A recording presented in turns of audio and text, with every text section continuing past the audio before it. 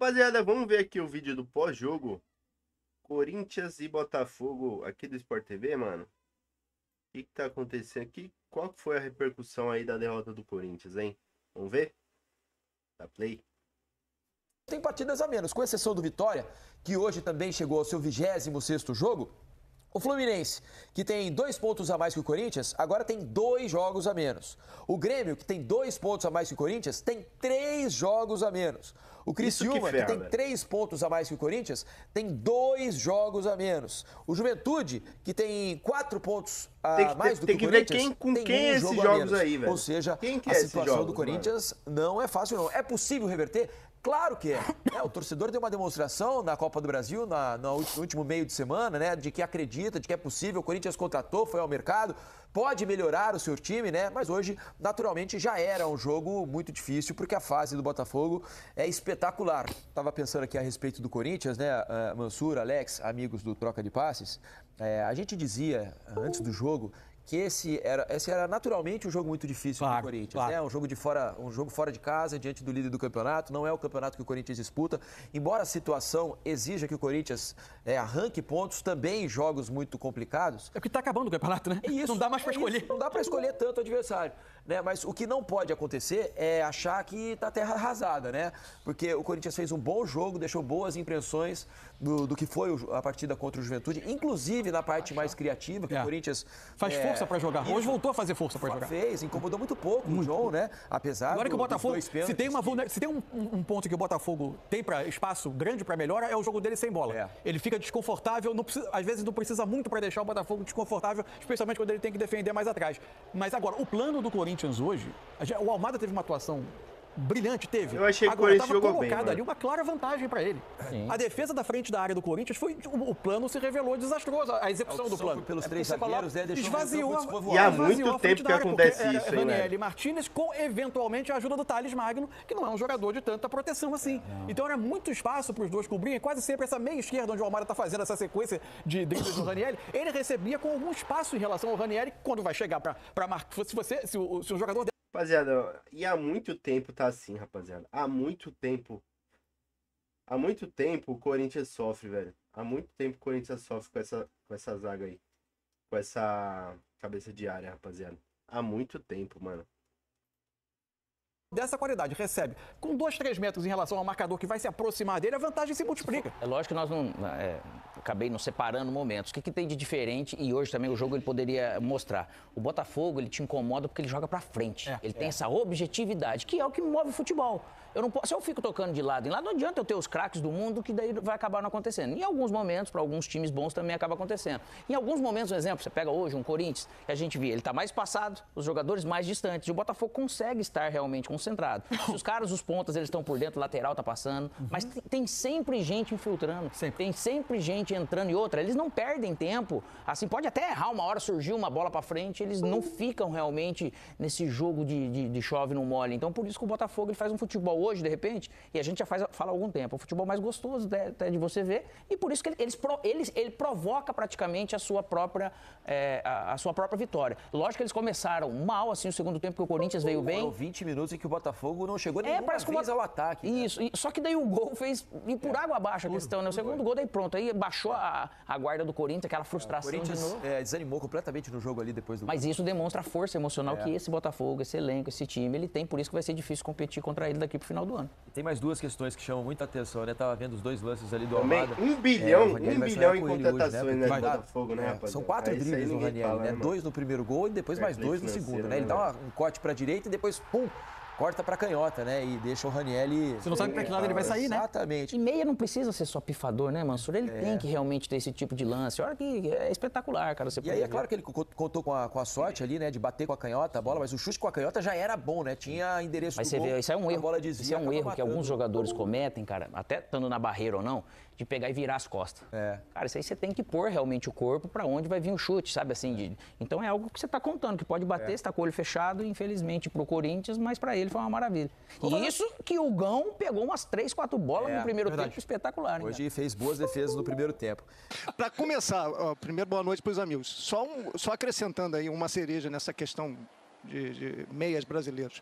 O melhor jogador em campo foi do Botafogo. É argentino, Thiago Almada. O melhor jogador do Corinthians em campo, no meu modo de ver, é argentino, é meia. Não foi o Hugo, não? Não foi o goleiro? Pra mim foi o Garro. Foi o Garro. Não, foi o Garro. Foi o Garro. Jogou muito bem. O Hugo foi muito bem, foi muito bem no jogo. Mas eu, se tivesse que escolher um, eu escolheria o Garro pelo, pelo, pela regularidade no jogo. É um jogador muito inteligente, muito interessante também. E, e, e o time líder. E... Faz tempo que o Garro é o melhor do, do Corinthians, né, velho? Faz tempo. Joga um grande futebol. É, eu acho que pela, pela falta um pouquinho de, de iniciativa de encarar o jogo no início. O Corinthians foi muito retraído no início. Ele, ele aceitou muito essa imposição do Botafogo. Ele não tinha força de atacar. E o Botafogo vem pilhando chances, é, né? Permitiu que Olha, o jogo virasse um ataque contra a é defesa, né? né? Foi o erro do Corinthians no primeiro tempo, né, Ricardo? Ele permitiu que o jogo virasse um ataque contra a defesa. Aí, aí o Botafogo tomou conta do jogo. E o Corinthians, eu acho que o Corinthians mostrou no segundo tempo que tem de onde tirar, pode ser competitivo. E agora, é, alguém falou aí, vai escolher quando vai entrar no campeonato, eu acho que ele pode escolher esse momento. Nas cinco próximas rodadas, o Corinthians vai jogar quatro jogos em casa. Quatro. A começar sábado contra o Atlético Goianiense. Vai ter que fazer valer o mando É agora é, se não conseguir, se não conseguir acumular ponto agora, vai Aí jogar fudeu. 15 pontos. 12 em casa. É a chance do Corinthians tentar tá com 25, sair desse buraco. bem, Led, com 25. Vamos imaginar, vamos pensar que ele faça mais de 10. Nossa, esse gol do Almada foi azar demais, mano. Foi azar demais. Também incompetência ali do cara que virou de costa, né? E do Ranielli, dos dois volantes, né? Competência dos dois volantes ali. Mas você percebe que o Hugo tava na bola, né? O Hugo tava na bola e acabou com desvio sem chance pro goleiro, né, velho? Ele, ele melhora muito a situação. Melhora, melhora. É, é, é o momento da tabela. São cinco jogos, os cinco são em São Paulo, só que um é um clássico contra São Paulo no Morumbi. E, é o problema, né? Para essa não... sequência, então. É. Vai lá, Não, só, só para completar, Diniz, e aí vai. vai é, o Corinthians vai, é, vai terá né, dois reforços, né? Que aí de repente é o Memphis, o Depay que foi contratado para justamente esse momento decisivo, e o torcedor do Corinthians que dentro é. da arena sempre apoia o time e vai ser importante, aliás, vai ser fundamental nesse processo, principalmente nos jogos em casa, para o Corinthians poder pontuar o necessário, porque essa é a realidade no Campeonato Brasileiro. Eu duro é que no Brasileirão não tem muita folga, né? Se a gente pegar esses cinco jogos que o Lédio se referiu, o primeiro tudo bem, é um jogo que o Corinthians é obrigado a ganhar, porque é o um confronto direto contra um time que é, tem muita dificuldade para permanecer na primeira divisão, que é o Atlético Goianiense. Esse o Corinthians tem obrigação completa de ganhar o jogo. Depois, o Corinthians, tirando aqui os jogos da Sul-Americana, né, que estão no meio desses, desses jogos aí. Aí depois o, o Corinthians vai jogar contra o São Paulo no Morumbi. Lá o Corinthians tem tido muita dificuldade para enfrentar o São Paulo. Depois o Corinthians vai jogar. Aí tem o jogo contra o Flamengo na Copa o São do Paulo vai ser em Brasília, falou. Ah, em Brasília, não é no Morumbi, Isso. desculpa, é verdade. Joga no Maré Garrincha. Menos mal. Depois o Corinthians joga contra o Internacional, na Arena Corinthians. O Inter está melhorando. Depois, é, o jogo é contra o Atlético Paranaense. Esse é o jogo em que o Corinthians precisa ganhar. O Atlético deu uma, deu uma diminuída aí na, no ritmo. Aí tem Cuiabá fora e Corinthians e Palmeiras na Neoquímica Arena. É só pancada, seja, né? É uma sequência que não costuma dar folga para ninguém. Acho que os jogadores que ele tem, o Memphis é um, é um atacante que pode sim jogar é, como, como referência ali. É lógico que pela característica dele, ele não é um centroavante de ficar parado no meio dos zagueiros. Ele tem movimentação, ele tem profundidade, ele sai da área, mas ele finaliza bem, ele chega bem, ele tem velocidade. Pode se jogar, jogar do lado do campo, depende muito do esquema. O, o, o que vai acontecer é que, lógico, ele vai ser titular, que ele vai, ele vai ser utilizado. O Corinthians precisa dele, o Corinthians precisa fazer mais gols, principalmente nessa reta final da temporada. Então, ele tem que se preparar bem, não sei se a semana que vem já ele já vai estrear, mas ele tem que estrear o quanto antes, porque a realidade do Corinthians no Campeonato Brasileiro é dura nesse momento e ele precisa de todos os reforços e de todos os jogadores para conseguir é, reverter essa situação. Levantando uma situação de restante de campeonato, de reta final de campeonato. Quem está nessa briga pelo título com o Botafogo?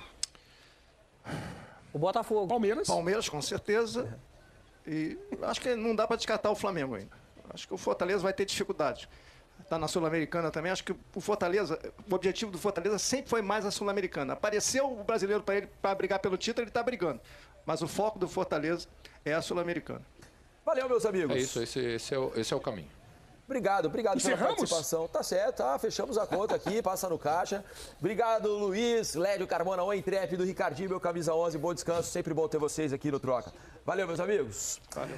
Vamos continuar falando sobre Boa. essa vitória do Botafogo sobre o Corinthians, 2 a 1 é, Ele estava falando ali sobre os reforços, né, da importância do Depay. O Depay realmente dessa declaração de que ele se considera um, um 9,5, né? Tava pensando Pode-se dizer, então, que ele é um, um 9 isopor? Por que isopor? Porque ele gosta de flutuar. É. Se o Corinthians tivesse um 9 muito efetivo hoje, né? Talvez fosse o parceiro ideal pro, pro Depay ali, né? Para ele jogar ao redor do 9 ali, né? Mas o Corinthians hoje está com dificuldade nessa Mas pelo posição. contrário, Tem... eu acho que ele é ideal para esse time do Corinthians tendo o Garro por trás dele, porque ele, ele pode fazer isso. Apesar que o Garro mas não aí, é de... Mas aí não é o 9,5, ele vai ter que ser 9 mesmo, é, né? Mas, mas é. tudo, de toda maneira ele ajuda a construir. Sim. O problema é que o Corinthians vai ter que criar uma maneira de também o Garro, que ele joga muito por trás, né? O Garro não é de infiltração. É. Você pegar ele, o próprio Almada, assim, eles têm essa característica bem de, de, de, de controle de jogo, é bola curta, é bola longa e tal. Só que você vai ter que, com, com, com Carrijo e de repente Thales Magno, você compor melhor. Porque você pode olhar nesse sentido a falta de, de aproximação. É isso aí. Às vezes é por causa de um, de um cara, um exemplo, não é característica do Yuri e nem do Pedro Raul, de vir aquela questão de ter a sensibilidade de ocupar o espaço para vir flutuar e tal, e ele tem isso. Deixa eu fazer o seguinte, já, já a gente continua comentando aqui, porque Ramon Dias, técnico do Parceiro Corinthians, está começando a sua né? entrevista coletiva e a gente mostra para vocês. Você não acha que já passou da hora do Corinthians tentar uma reação no Campeonato Brasileiro? Obrigado. Bueno, nosotros eh, esperábamos, creo que todos, eh, tener el espíritu que, habíamos tenido en el partido pasado con Flamengo. Creo que esa era la, era la línea a seguir y por ahí en el primer tiempo no jugamos bien. No se jugó bien, no, no hubo tenencia, no hubo presión. Si analizamos bien eh, prácticamente el primer gol, cómo, cómo pasó, fue una situación donde ellos llegan muy fácil, no hubo una presión, no hubo recuperación. Y eso es lo que, más, lo que más nos preocupa, porque en estas situaciones hay que jugar con una cierta actitud, de una cierta forma para poder conseguir puntos como, como lo veníamos haciendo. Eh, creo que eso tenemos que cambiarlo inmediatamente y muy rápido, porque, necesitamos sabe, ¿no? los puntos. Eh, y también tuvimos... Actitud. Es increíble porque un partido que tenga dos penales y lo perdiste. No pasa siempre que, que, te den, que nos ocurra a nosotros, que nos den dos penales y también hubo otro con la mano, que también podría haber sido el tercer penal, y, no se cobró. Pero creo que tenemos que mejorar muchísimo en, darse cuenta en la situación donde estamos en el Brasileirão. Porque eh, necesitamos reaccionar, tener otra actitud, tener otra, otra agresividad. A mí el equipo del primer tiempo no me gustó, por eso cambié. Y pudimos recuperar eh, con haciendo tenencia, un buen juego, pudimos hacer nuevamente lo presionamos, pudimos, pudimos llegarle al gol, pero eh, creo que, que, que, nos faltó saber jugar en la situación que estamos. Ojalá que el equipo mejore, va a mejorar seguramente, pero necesitamos cambiar rápido, porque la situación no, no, no es fácil. Necesitamos otro espíritu, otra forma para, para poder salir de la situación. Ramon, boa noite. É, vou fazer uma pergunta que a torcida do Corinthians se questiona muito é, pela segunda partida seguida. Por que o Thales ele é substituído mais uma vez no intervalo? Qual, seu, é, qual foi seu objetivo ao tirar ele o Thales? Detonou o Thales, Obrigado. Né? Como que ele Detonou o Thales. Eh, yo creo que porque no lo estaba rindiendo. No estaba rindiendo. no tenía tenencia, no era agresivo, no, no llegaba al gol. Eh, y acá eh, los tiempos son muy cortos. Tenés que, tenés que rendir inmediatamente porque la situación no da como para como para no tener una actitud agresiva y saber cómo estamos jugando, lo que estamos jugando. Cuando cambio es porque el equipo y los jugadores no están rindiendo. En el segundo tiempo me parece que pudimos hacer un poco más de tenencia, un poco más de llegada. Tuvimos alguna ocasión para hacerle el gol, pero eh, no me gusta perder de esta manera, porque la situación no es fácil y necesitamos tener otro espíritu. Eso me gustaría que el equipo cambie el espíritu que teníamos hace dos fechas atrás salimos de situaciones, pasamos a, a la semifinal de, de, la Copa de Brasil por tener el espíritu, por tener esa gana, esta actitud de, de querer cambiar, de querer. Eso lo necesitamos hacerlo, sí ou sim. Ramon, boa noite. Boa Alexandre Jimenez aqui da Central do Timão. Professor, com relação à, à, escalação, até analisando o primeiro tempo, a superioridade Sim. técnica do, do, adversário e a sua substituição no intervalo de tirar um zagueiro, é, você se arrepende de ter escalado três zagueiros no jogo de hoje, até alterando o esquema tático do jogo anterior contra o Juventude? Obrigado. Não, porque se vê eh, en la forma que veníamos jugando, eh, creo que el equipo tenía un rendimiento. Sabía que nos faltaron los dos centrales, faltaron jugadores importantes, pero creo que eh, el trabajo está, lo, lo, tuvimos siempre de esa manera. Eh, yo creo que nos faltó un poquito ser más agresivos, porque si analizasen los dos goles cómo fueron, fueron muy fáciles. Y estamos en una situación que tenemos que tener una cierta agresividad para, para, para que, no puedas, que no te puedan concretar. Eso vamos a tratar de mejorar. Ramon, boa noite. Boa noite. Luan Siqueira, Rádio Caquineto. A minha pergunta é sobre é, a, o batedor de pênalti. Né? Primeiro o pênalti Romero, segundo o pênalti o Garro. Essa escolha é da comissão técnica, é do jogador dentro de campo. Hoje o Corinthians tem um batedor oficial de pênalti? Obrigado. Me parece que usted lo conoce, el, el batidor oficial es Romero. Pero me parece que eh, en estas situaciones hay que tener una concentración increíble, patear de otra manera. Está bien que él siempre pateó de esa manera y lo pudo concretar. Pero hoy estamos en una, una situación al límite donde ninguno tiene que fallar. Ni el entrenador, ni los jugadores, ni los hinchas, nadie. No, tenemos que fallar porque son, son situaciones al límite. Eh, ya ves, te dan la posibilidad de un penal, de poderlo empatar y no lo empataste. Eh, si, hacíamos el gol por ahí, eh, con el otro penal íbamos ganando 2 a 1, pero eh, se necesita un, una cierta concentración para, en todo sentido y todos, el entrenador, los jugadores, todo, todo el mundo, para, para poder conseguir los puntos para el Brasileirão. Ramon, Vitor Scaroli do Portal Meu Timão, boa noite. Eu queria falar sobre dois jogadores, dois reforços que chegaram recentemente. O André Carrilho hoje fez sua estreia. Queria que você fizesse uma avaliação, entrou no segundo tempo ali como mais no meio de campo. E sobre o Memphis Depay, é, muito se fala dele já poder estrear no próximo sábado contra o Atlético Goianiense, se você pode passar uma previsão. E o que você sentiu do jogador nesses primeiros dias de treino ali no CT Joaquim Grava? Obrigado. Sí, primero vamos a tratar de, eh, de, de, ponerlos bien, porque hace mucho tiempo que no juegan, entonces ya están trabajando toda la semana y seguramente en una semana ya lo vamos a tener posiblemente, eh, no digo al 100%, pero en condiciones que puedan jugar. Eh, tenemos dos semanas para volver a jugar con el Brasileirao y, y, seguramente para cuando juguemos de local van a estar al 100%. Esperemos que sim. Aqui, Ramon, é, Jonathan Santos, canal BTB Esportes, prazer em revê-lo. Ramon, é, eu queria que você avaliasse a arbitragem do Anderson Daronco. É a segunda vez que ele te expulsa na última temporada no Nabi Abichedi, hoje aqui no Newton Santos. Você acha que é algo pessoal? Eu queria que você avaliasse mais sobre a arbitragem do Daronco. Algo pessoal. Cara, mano, O cara empurrou bandeirinha, mano, do nada.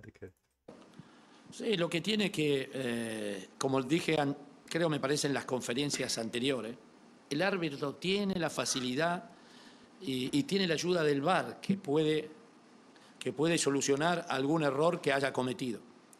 Y eso me gustaría que, que los árbitros puedan utilizar al VAR, porque son situaciones que se ven, que por ahí él está está en una posición donde no se ve que puede cobrar y hoy en el segundo tiempo fue un penal dentro del área. Nosotros a José levantó la mano, le pegó la mano y no cobraron el penal. Y acá pasó lo mismo y, y el penal no lo dio. Y también eh, lamento lo que pasó con el alcanza pelota. ¿Así se dice? Con el hombre que alcanzó la pelota, estuvo ahí y nosotros la tensión es muy grande. Le pido disculpas, pido disculpas a todos, no, nunca me pasó. Pero bueno, la tensión es muy grande. Pido desculpa por isso. Obrigado. Boa noite, Ramon. Aqui, Cidão Marinho da Litoral News. Como fazer essa administração de estar. Tá aí, Ramon Dias. E depois, um lance que. Achei que ele foi bem na entrevista, rapaziada. Falou mal ali de alguns jogadores. Mano, cê... alguém lembra de, um, de uma corrida, corrida forte, assim, do Thales Magno? Mano, eu não vejo ele correndo, cara. Ele só vai naquela, pá sei o que, fez os gols, né? Fez alguns gols importantes, né? Mas, mano, eu não vejo ele correndo em campo, cara. É inacreditável um bagulho desse, mano. É, é, é, os, os corintianos reclamaram bastante, né? Que foi de uma agressão, uma possível agressão do Bastos no Romero. Olha só. Aí a imagem, né, mais distante. um pouco distante, mas acho que vai dar para perceber. Olha lá, primeiro. Aí, ó, Romero vem, e o Bastos, essa câmera não é legal, tá? Não é ela está distante, a gente, tá distante, a gente viu por uma outra mais perto. A gente é vai claro, mostrar, a gente tem um outro ângulo mais próximo. Aí, aí a imagem mais aproximada, aí uma disputa normal, né? O Romero até acho que faz uma falta ali, é, ele segura, o do Bastos. O Bastos puxa, puxa a camisa, camisa do Romero e aí dá uma cotovelada dá uma no Romero, né? Um lance claro de expulsão. Claro para revisão. Um lance claro de expulsão. E Curioso, o VAR acabou o, ignorando. O VAR não teve, não teve acesso a uma imagem que ele considerasse conclusiva para chamar? Então, e, deve, é. e deve ter visto, porque como o Romero ficou é, caído, é, foi o momento que o jogo claro, ficou parado. Né? Claro. E aí tem uma. A gente até tem uma outra imagem, né? Que essa não estava na transmissão. Essa daí estava disponível na, nas imagens da transmissão. É, tem uma outra imagem que é, foi feita até da lateral do campo ali, olha só. Essa aí, aí já aconteceu, né? Não, e está mais é aproximada, ó. Essa é a mesma, aí, né? É, aí dá ah, pra aquela ver lá. direitinho a a cotovelada do Bastos. Merecia ter sido expulso, né? Por essa cara. agressão. Quantos, quantos minutos que, que era isso aí? Faltava ainda um bom tempo, Era, né? Uns é, 15 minutos. 15 minutos antes Faltariam do do ainda. jogo, mais ou menos ali. É, nesse, nesse momento, o Bastos deveria ter sido expulso. O VAR ignorou é, o lance. É, fora isso, voltando a falar sobre o jogo, nosso futebol tem algumas curiosidades, né? Por exemplo, o fato de os dois times entrarem com uniformes absolutamente parecidos, né? Tava muito difícil de identificar. Os próprios jogadores, quando entraram em campo, foram conversar com o árbitro e falaram: olha, não é possível jogar futebol desse jeito, são dois times alvinegros. A camisa do Corinthians nessa temporada é uma camisa difícil, né? É a Já primeira, contra o que sempre Mineiro- normalmente é branca total, Isso. né? Contra o Atlético Mineiro, houve uma grande confusão. Estava bem pior do que hoje, inclusive, para se identificar os dois times. E aí o Marlon Freitas, conversando com os jogadores do Corinthians, pô, como é que nós vamos fazer? Tá difícil de ver, você vai trocar, não vai? E aí acabou se decidindo ali, não sei de quem partiu a decisão, o, o Daronco conversou Pelo jeito com foi os capitães e decidiram jogar o primeiro tempo desse jeito mesmo, né? Tamanho absurdo. Isso porque é, a CBF define as cores Então, antes. antes da viagem, né, definida, né? A equipe de arbitragem vai aos vestiários para verificar os uniformes e tudo mais, e não é possível que eles não tenham se atentado. E aí, para o segundo tempo, vocês vão perceber que fizeram o simples. Né, o Botafogo é, numa predominância branca. E daí trocou é, o short trocou preto e a meia. E a meia, né? Que o. Botafogo estava de calção e meiões pretos, passou a usar calções e meiões brancos, e o Corinthians veio para o segundo tempo todo de negro. E aí facilitou bastante para quem estava assistindo o jogo, para ver A que havia duas é. equipes em campo. A informação na transmissão foi que as comissões técnicas, os times, os dois times combinaram na- que voltariam do segundo tempo com, com trocas de uniforme. não, foi uma, não chegou a ser uma Parece- exigência da arbitragem. É, Agora, até que no- na prática até parece que não teve essa questão de, de Agora é uma discussão que não é para chegar ao campo de jogo. Há toda uma possibilidade, você tem reunião antes do jogo, você já tem essa tabela definida, já os clubes informam quais são os, os seus uniformes número 1, uniforme número 2 e 3, eles pedem autorização para uso, enfim. É, é, é, não precisa levar essa discussão para dentro do campo. Isso poderia ter sido definido já é, anteriormente. Então é isso, o torcedor do Timão Corinthians foi derrotado aí na 20 Com certeza, rapaziada. É... A gente tive uma melhora aí do Coringão, né? A gente vê uma melhora do Coringão, mas infelizmente essa essa derrota aí do, do Botafogo era planejada, né, rapaziada? Já era. O povo já sabia que, que vinha essa derrota aí. O Botafogo veio muito bem no campeonato, vem muito bem no campeonato, né? Com o Luiz Henrique, Thiago, esse Almada aí que joga muita bola, né? Aí não tinha como mesmo. O Corinthians jogou bem, eu, eu achei que o Corinthians jogou bem. Daria pra fazer pelo menos um empatezinho ali, mas a vitória não veio. É, agora o Corinthians tem que fazer o dever de casa e ganhar contra o Atlético Goianiense, velho. Pra para sair cada vez mais aí da zona de rebaixamento. Que tá uma pressão enorme aí pra cima dos jogadores, né? Vamos ver se o Memphis Depay, Memphis Depay vai estrear no próximo jogo, né? Vamos ver. É nóis, deixa o like.